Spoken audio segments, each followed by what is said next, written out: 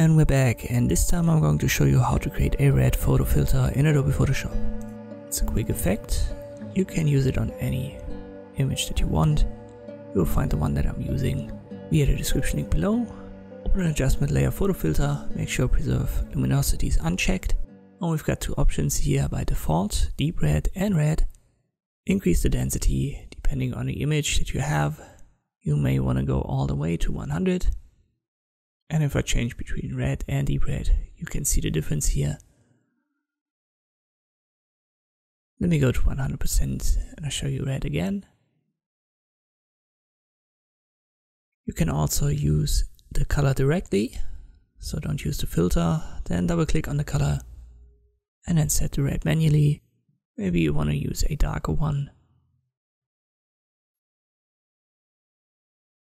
Whatever fits your image. Can also use other colors, of course.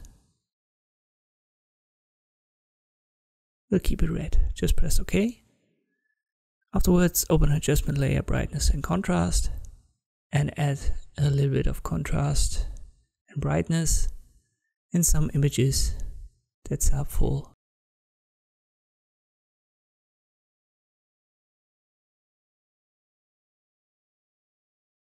I have used legacy unchecked here in this example. It should be by default for you as well.